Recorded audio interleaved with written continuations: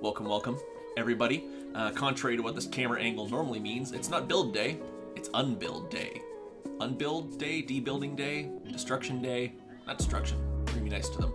Um, today, I am fortunate enough to once again have two Mode 80s in front of me, um, but this time we've got the 2022 version. Uh, I did that three times in the review video. We've got the 2020 version here uh, and the 2022 version here. In case I mess up saying which is which, navy blue with gray butt is the 2022 version, and the dark top mirror booty, there you guys are, say hello, uh, is the 2020 version. So, okay, we're just getting that out of the way now because I'm going to say the wrong year at least 17 more times, and I'm not going to put something on screen every time I do it, so sorry. Um, we're to tear both these down side by side. Uh, these two keyboards, if you haven't watched my review already, I'll link to it. Um, these two keyboards are, are subtly different. Um,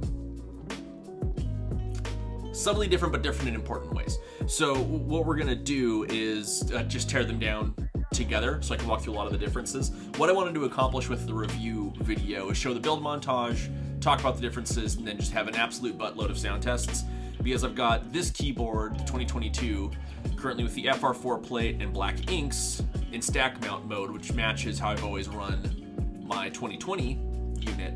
But they also sent me their reflex linear switches, um, which are these handsome fellas right here with the uh, yellow stem, light factory lubing. Um, and the reason they sent me those to use is because they also sent me a solder PCB and a half plate, so I could try that, so I could kind of run all the configurations. And they very nicely sent me these switches, so I wouldn't have to desolder them afterwards. I have a desolder gun, but that's still, you know, nice and considerate of them to uh, to do that. So, um, why was I saying that? These are two very subtly different keyboards. Um, and I want to tear them down side by side so we can compare them while they are as similar to each other as possible. Um, they both have uh, Durock V2 stabilizers. Um, I've got clear ones in my 2020. I, I want to say in 2020, that feels so long ago now. There was like a Durock stabilizer shortage or something, uh, and the smoky ones were hard to get, or maybe they weren't out yet. I don't remember. Um, but my lubing technique has changed considerably between these two boards. Um, but build-wise, they are as similar as they are ever going to be. So I want to tear them down side by side, go through some of the differences.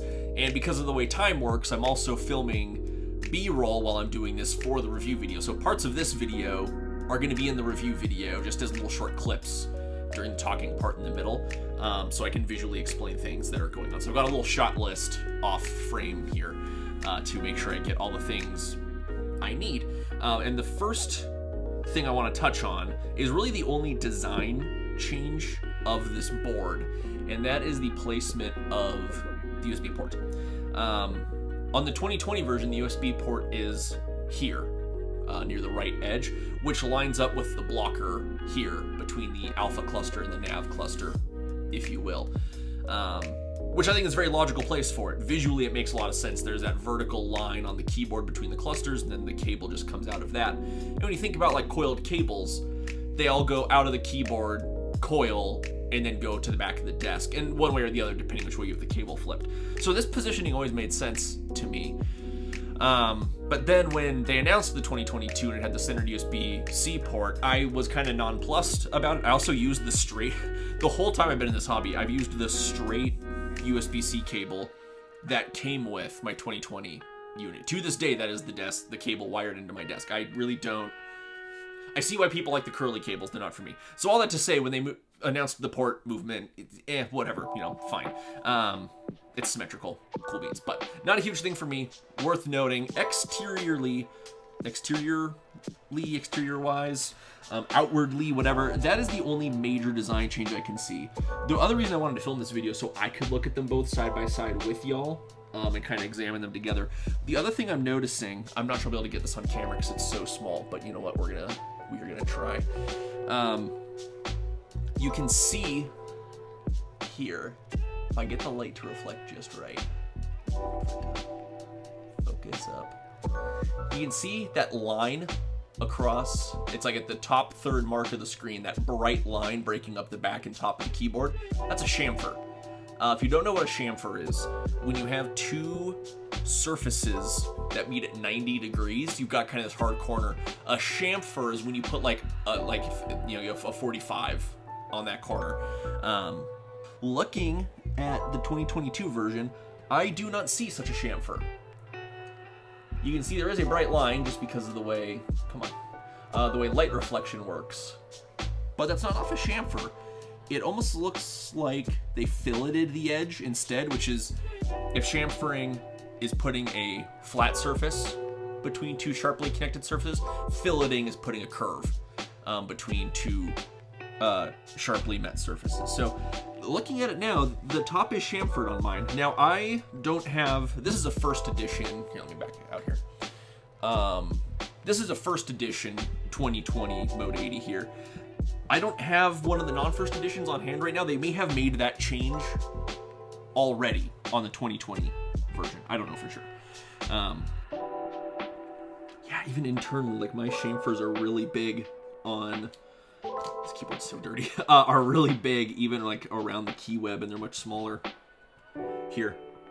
That's quite interesting. You know, it actually, those look thinner. Okay, you know what, we're breaking out the calipers already. I wasn't sure if I was gonna break out calipers. We're gonna need the microfiber, I'm sure. Um, I wasn't sure if we'd be breaking out the calipers today, but we are. Inches, gross. Why was I measuring something in inches? Uh, millimeters. Zero. Okay, so let's see here. I'm measuring this part of the key web. You might not be able to see the screen. I'll call it out. 4.13 millimeters. 3.81 millimeters. Interesting. So they did refine. I wouldn't say they changed the design of the top, but they refined the tolerances of the top. One of the things that was kind of an issue, if you will, on the 2020 is how tightly it fit the keycaps, and like it's almost hard to get a keycap puller, like especially in the F row, where on top and bottom there's walls, if you will. So I wonder if that's what we're seeing here, is that refinement. Um, that's pretty cool. See, this is another reason I want to do this video, is because I, I haven't really examined these in a really analytical way either. Let's look at these both up on end. Other than the bigger chamfer on mine, well, that is not in frame. Um, other than the bigger chamfer on mine, these look pretty much identical. The corner radius might be a little tighter on the new one as well. That might be grasping at straws though. The finish, the finish on mine's quite shiny. It's really kind of velvety on the navy on the 2022. I really like it. Um, so it kind of makes it hard to judge off the reflection.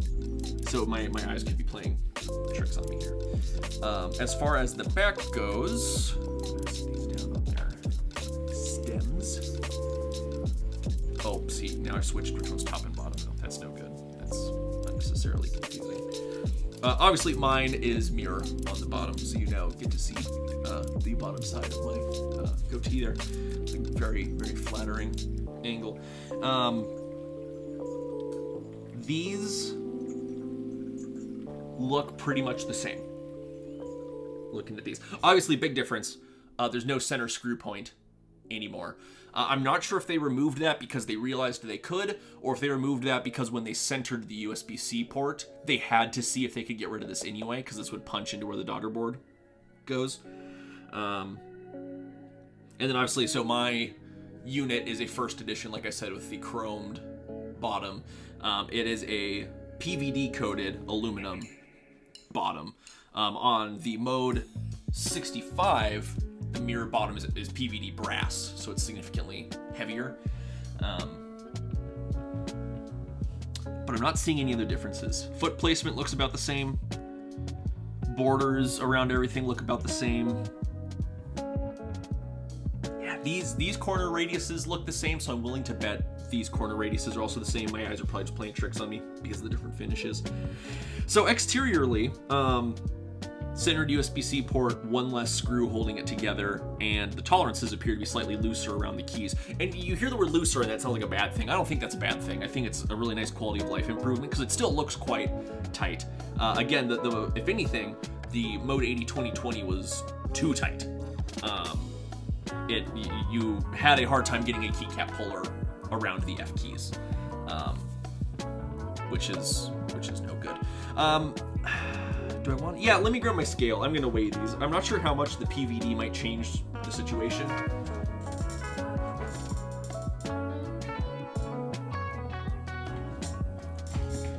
PVD is a vapor deposition. That's what the VD stands for. It's phased vapor deposition. Um, so it shouldn't change the weight of the aluminum bottom too much, but I'm still curious just to see what these weigh back to back. Um, so uh, 1,985 grams. One thousand seven hundred sixty-three grams. That's very interesting. Um, Okay, well now we need to keep the scale out and weigh the rest of the parts as we go to see where the weight was, uh, quote unquote, lost. Isn't that fascinating? This one felt lighter.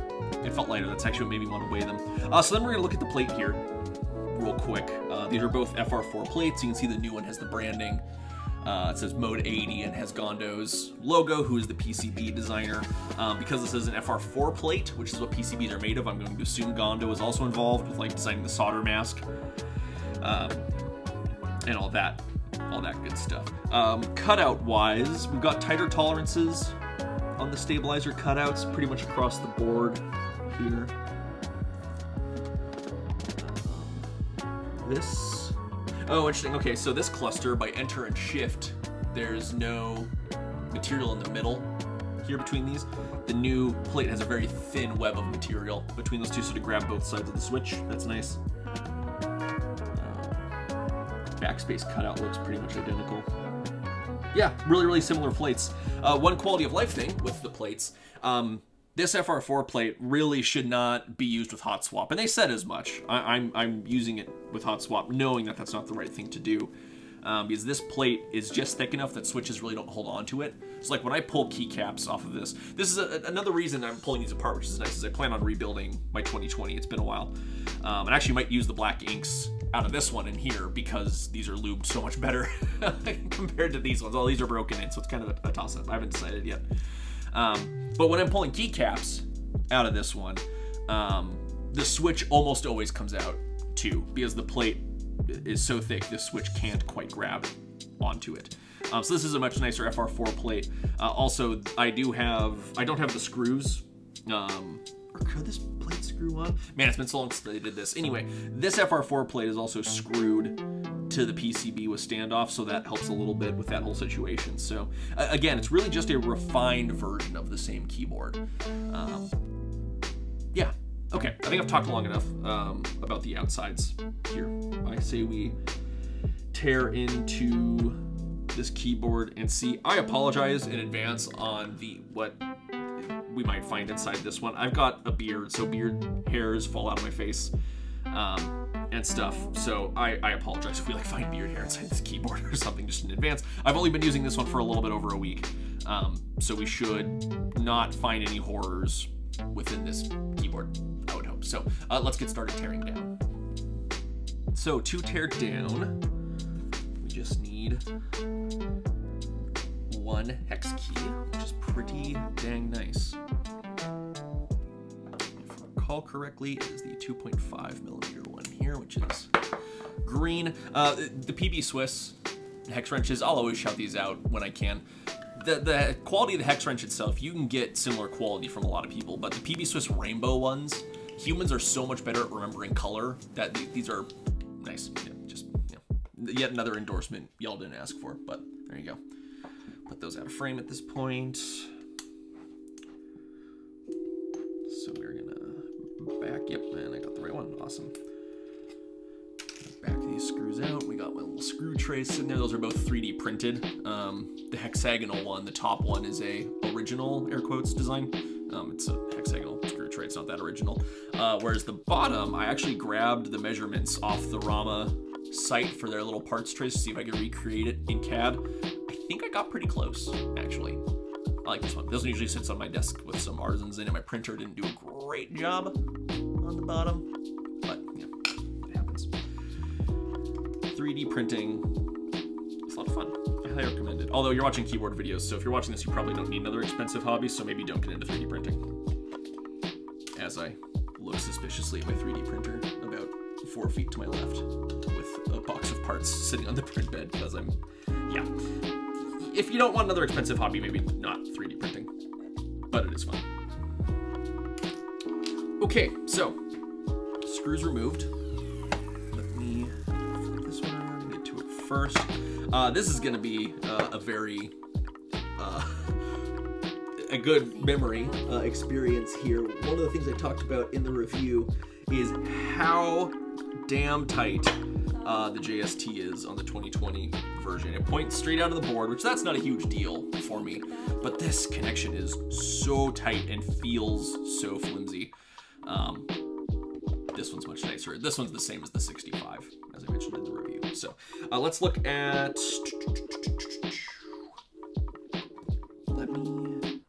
We're gonna look at the bases first, because then once we're done with those, we're done with those. I need somewhere safe to put these.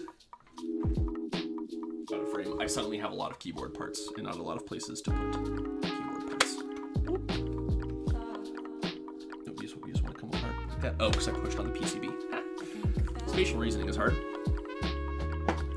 I still want to jerk the JST connector. Oh, so nice to remove this JST. So, so much better. Mine and my 2020 unit is looser at this point. Um. I am not holding things as well as I could be. There we go. And I need safe to put this in the meantime. I'm gonna put the scale. Probably gonna edit this out. But if hearing this, that means I didn't. Okay, so we're gonna look at the bottoms here. Oh, well, duh, Ian. Look at how much more material that has than this one. I bet this is where our weight difference is. This has a whole pocket machined out in it that this doesn't. That's really interesting.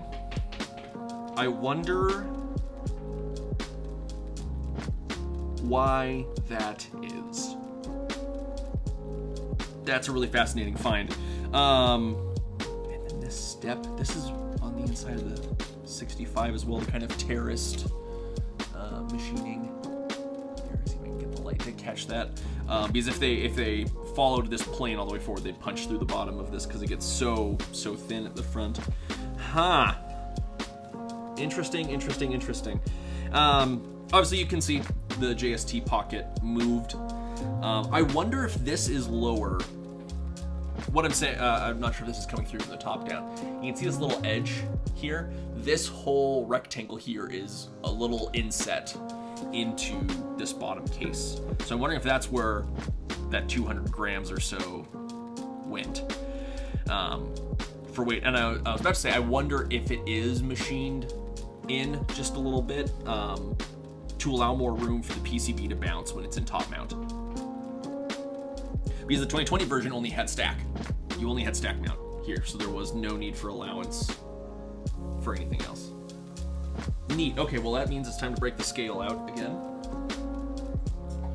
Um, oh, I guess actually one other detail I wanted to talk about here is you can see the little boss around the two screw points here. Um, on the 2020 version, you were kind of guessing how tight you should make the screws. Um, I mean, it's pretty apparent when you're putting it together. You're not flying completely blind. But this one, that little collar, that little boss actually hits the screw post. You can just see the navy blue peeking through right there. That top surface of that and that top surface of that actually make contact as you tighten it. So much like uh, the Rama U80 in my build video, when, when you do that last turn, it's really apparent that, okay, this keyboard is sealed now. Um, so let's try to scale back up here.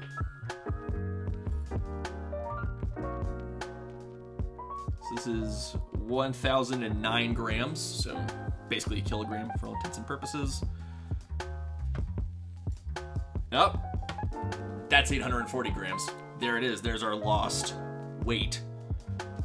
It's in the base. Yeah, and holding these, it's even more apparent than just holding the keyboards. I really wish I had a non-first edition 2020 on hand so I could check against that as well, because I don't know how much of that is this being a special piece for the first edition. Um, isn't that interesting? Isn't that interesting? Um, internally, though, no other major differences. Still got the same tongue and groove system um, for uh, locking on this front. Screw in the back, there you go. Uh, these holes here are likely the mounting points, uh, either for machining or for coating, anodization, or PVD, um, whatever it might be. Daughter board, you can see, footprint is the same electrical components. Even look the same. Yeah, silkscreen is, is the same.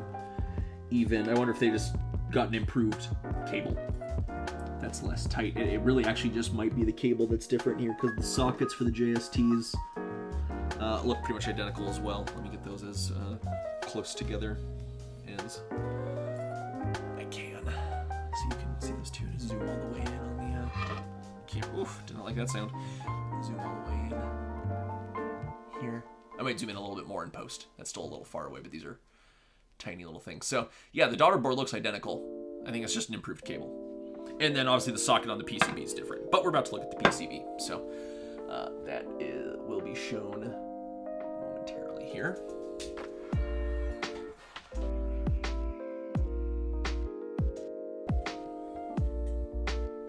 Okay, so now we've got, again, 2022, 2020 versions here.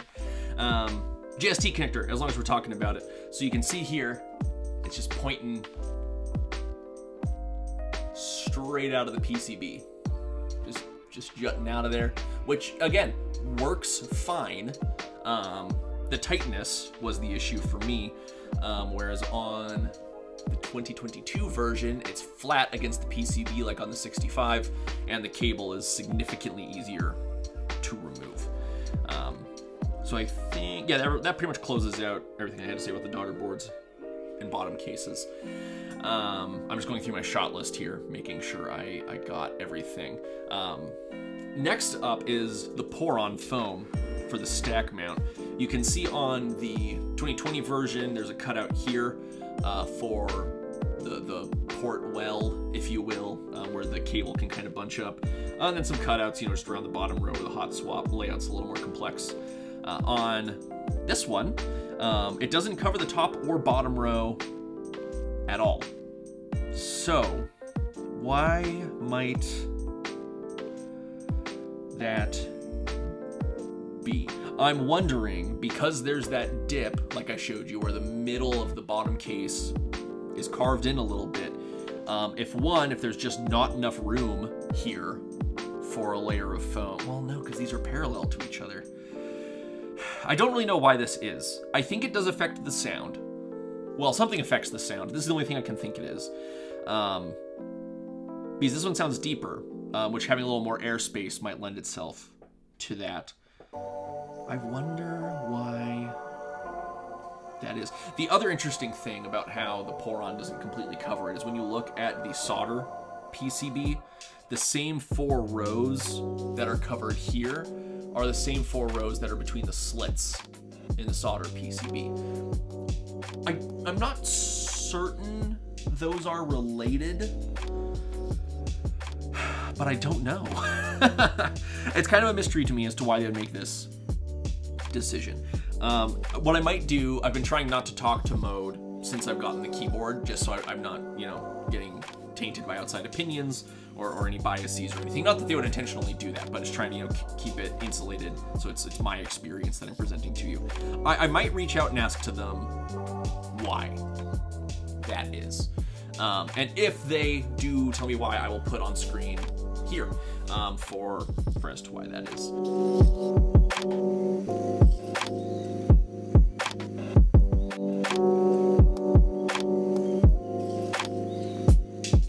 Otherwise, though, very similar PCBs. They've got the same layout options between the two of them. Um, stepped and non-stepped caps lock, 7U or 6.25U bottom row, um, and then standard uh, ANSI layout otherwise. So nothing, nothing much else there. Let's get the Poron foam out of the way. Check that one off my, my shot list. Um, now that we got that out of the way, it, it is much more apparent the big difference between these two because this one only does stack mount. Um, there, there's no cut-ins uh, along the edge, um, whereas this one there's the cutout points for the top mount screws to go in. Um, as far as I can tell, it's the exact same implementation as on the 65 that you just got those pockets and then you've got the isolated bumpers over them for the isolated top mount. The 80 doesn't officially support non-isolated top mount, like just the normal top mount. Um, I'm thinking that's because the screws, um, it's either an internal space thing or the screw, the the top case is so thin on the 20 or on the 80, um, so many numbers uh, that w- without those spacers in there, the screws would be too short. Um, ah, but that really doesn't make sense because it's the same amount of threads regardless. Hmm. Hmm. I'm betting it's an internal space thing then, because when you remove these bumpers, the whole PCB raises up a little bit. I wonder if that might expose the switches or something like that.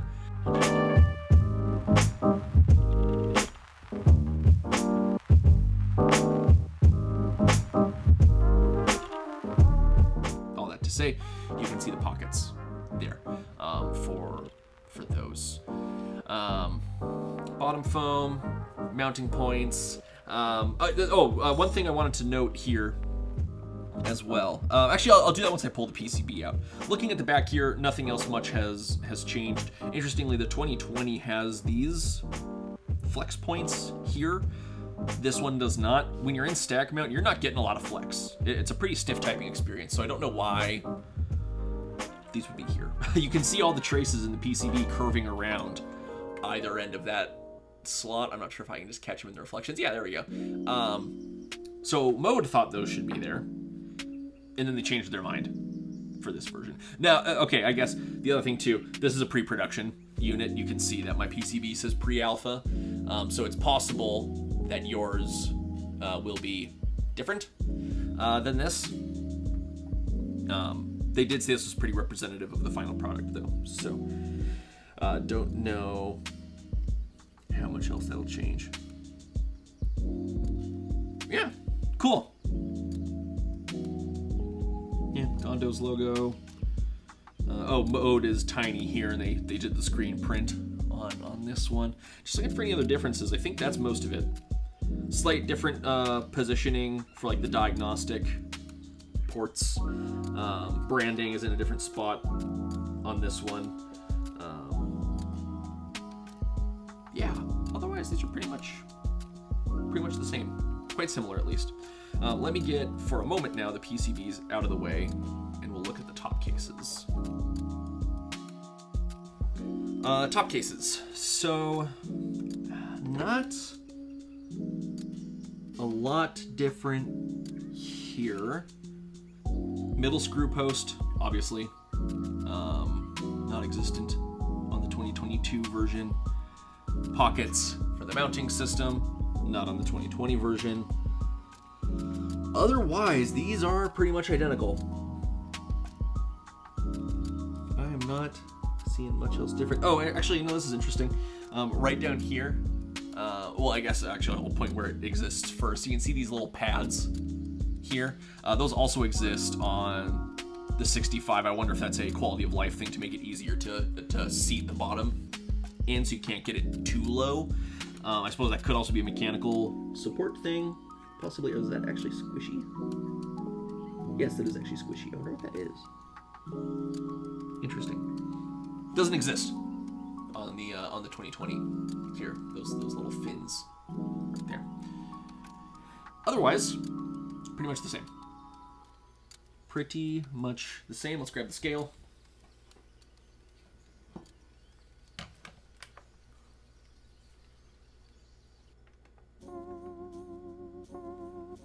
Five hundred and sixty grams.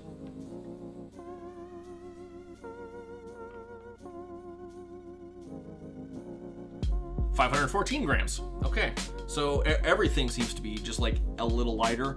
Uh, I'm willing to bet that difference is the pockets that had to be taken out. um, for the top mount. That would be my best educated assumption of why that would be. Okay, main event, part of the keyboard that's actually the keyboard, PCBs. So we already kind of looked at the back. Now that it's out of here, I'm just to show off those mounting points again for top mount. I'm on camera, there we go. You can see them along the top there and then along the bottom. Uh, this is where the space bar is. And I mentioned this in the review, how soft the space bar is in top mount because there's no mounting point uh, anywhere uh, nearby the, the space bar there. You can see, though, on the 65, you can see it through because I have polycarbonate, haha, life hacks. Um, my keyboard, or my keyboard, oh my god, my camera, there we go. Um, you can see that top mounting point, not in the center of the space bar, but right in the center of the uh, of the screen. There you can see that that mounting point. So that is one thing I wasn't crazy about with the top mount implementation on that. Um, once again, my favorite configuration of this keyboard was the stack mount with black inks. That it just it works so well on this keyboard. Um, but let's look at the top here. Yeah, really not much different, eh? Very, very similar. You can see how my plate is uh, drooping on this one because the FR4 plate won't grab the switches effectively. Um, which again, they, they warned me about that on the on the site. I, I did that of my own volition, um, but that might come into consideration when I rebuild this in terms of what switches and what plate I pick. Um, if you watched my initial review of the 2020 Mode 80, um, you'll know I've got the aluminum carbon fiber and FR4 plates. So maybe I need to go back and listen to my own sound tests uh, and see what what I'm feeling if I do a rebuild. Um, slightly different positioning of the branding. Really, yeah, not not a lot of difference going on here. Um, what I do want to compare, PCB-wise, I assume comparing those wouldn't be horribly interesting, um, is... Now this is going to be confusing. These are both 2022 PCBs, um, just so we're, we're clear on, on, on what's going on here. Um, this is FR4 full plate, hot swap, aluminum half plate, soldered. Um, I just want to point out, first of all, I've never done anything that's remotely even like part of its plateless or half plate. Uh, the switches look very cool, just standing on the PCB like that. It just looks kind of neat. I also think it looks cool that the diodes are on top of the PCB on the 80, um, so that they're not rubbing on the foam when it's in stack mount. It just this is a very cool look. Um, my favorite sounding alphas out of the sound tests um, were the half plate and stack mount. I, really liked the way these sounded. I'm actually really impressed with how the uh, reflex switches sound and feel. In general, I did lube and film these so they matched the black inks as closely as possible. Um, but even just fresh out of the box, these sounded and felt really good. The, the light oiling they received at the factories, quite nice. Um, these two PCBs, the big difference here is uh, these flex cuts. You can see one slit here, one slit here, no slits on the hot swap. That is so, because this is where the alphas are, you know, if you think about the top of the PCB, that is so this can flex in half plate builds. You can see it moving separately there when I press against the switches. Obviously that's way over dramatic. That's not actually how it would be um, while typing, but um, that's why that's there. Interesting nonetheless. Uh, and this is the situation where I really didn't like that one mounting points here, one mounting points here, there was nothing here. The the half mount or the half plate top mount spacebar was really soft. I, I did not like the way that felt, but as I said in the review, I think really just what I've learned about myself is that I prefer different keyboards. That's okay. I don't think there's anything wrong with that. Um, it's just something to keep in mind if you're going to get one of these yourself. Um, otherwise, that's really all that's different. You know, um, you can certainly use the FR4 on a solder build. Um, you, any full plate on a solder build, you just won't get as much flex out of the PCB. And clearly, as you saw in my sound test, it seems kind of silly, but you can use a half plate and stack mount. No, no one's stopping you from building any of these configurations. Um, just using a half plate with stack mount is kind of weird because the whole point of a half plate is flex, and you get very little to no flex with stack mount. Looking around, I think that's kind of it, gang. Um, I think we've kind of noted all the differences. I think the biggest finding that was interesting is that the new one is 200 grams lighter, but I'm not sure if that's first edition versus standard edition or 2020 versus 2022 design. Um, Poron foam, you know, covering different amounts of the keyboard. I can actually put those together here. So here is the here's the 2020 foam. Here is the 2022 foam. You can see how much the 2020 sticks out past if my camera will focus. Over here, buddy. Over here, there we go. You can see how much further the foam sticks out on the top and bottom in the new one. I just picked these up and what I noticed, the uh, 2022 has thicker foam. Glad I made that comparison. 2020 foam on my index finger side, and the other side's the, or 2020 foam is on my index finger side. Oh my god. 2022 is right here. It's much thicker. I bet that's what takes up that pocket in the bottom case. So I bet the bottom case is machined down a little bit to allow flex room for top mount half plate builds. I bet that's exactly what it is. Isn't that neat? That's pretty cool. I really like doing videos like this where you guys kind of come along for the ride with me uh, and get to uh, discover things along with me. Um, kind of talking through something as I'm doing it because I do that anyway. When I'm working on a problem, I talk to myself and talk my way through the problem. Um, but there you go. That's that's what I have for you. Two keyboards, three plate PCB combos. Um, really appreciative to Mode um, for for sending this out. One, it's just very nice of them to do so, but two, I don't think I would have bought one of the 2022s because I have a 2020 first edition already that I like a lot. Um, so very nice of them to, to not only send me the board, but enable me to have that experience to compare these for people. Um, because I do have friends who ask me about keyboards and they asked me about the new, 20, uh, the new 2022 version of the 80 and I really didn't know uh, what or how it might be different. I could I could speak to stack mount, black inks, FR4 plate, you know, aluminum carbon fiber plates as well, but I, I, didn't know what the top mount would be like. I could do top mount the 65, but it's much stiffer because it's a smaller keyboard.